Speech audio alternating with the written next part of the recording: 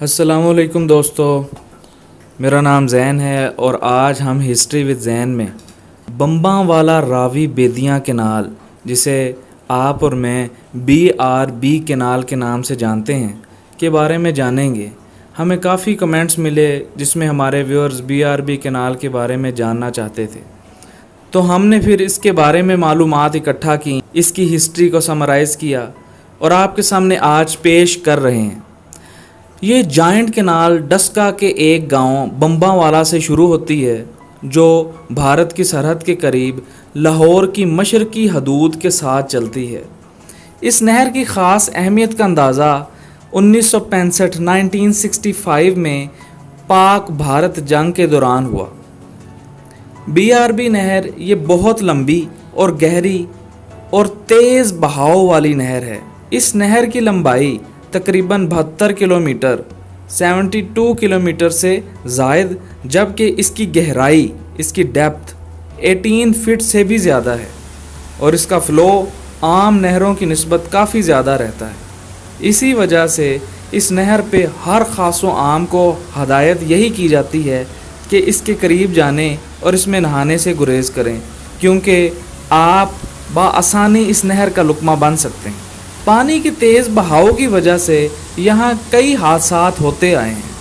इसे इछोगिल या इकोगिल के नाल भी कहा जाता है, लेकिन ये बीआरबी के नाम से ही मशहूर है।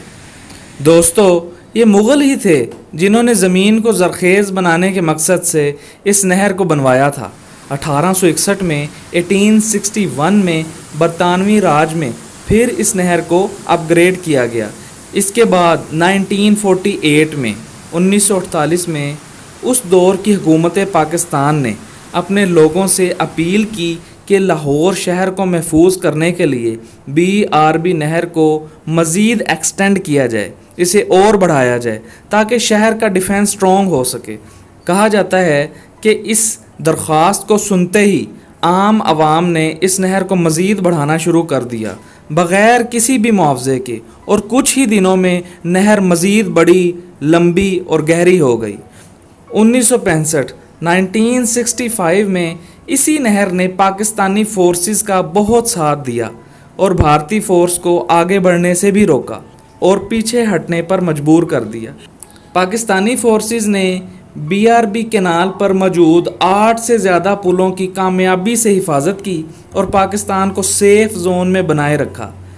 मेजर अज़ीज़ भट्टी ने भी बीआरबी के करीब ही शहादत कबूल की। लाहौर नहर, जो जल्लो मोड़ से ठोकर न्याज बेग तक चलती है, ये बी आर बी बम्बा वाला रावी बेदियाँ केनाल की ही तोसी है। अब ये शहर लाहौर का सबसे बड़ा ग्रीन बेल्ट भी है, जब त्योहारों और तकरीबात का सीज़न लाहौर पर पड़ता है। नहर की हैरत अंगेज सजावट लाहौर को चार चाँद लगा देती है। दोस्तों, अगर आपको वीडियो अच्छी लगी हो तो लाइक करें, वीडियो को दोस्तों के साथ शेयर करें चैनल सब्सक्राइब करें, साथ में बेल आइकन ज़रूर प्रेस करें, ताकि नई आने वाली वीडियोस का नोटिफिकेशन आपकी स्क्रीन पर आता रहे। अपना और अपने प्यारों का ख्याल रखें, अपनी तारीख़ और तहज़ीब का भी, और अपने इस चैनल का भी। अल्लाह हाफिज़।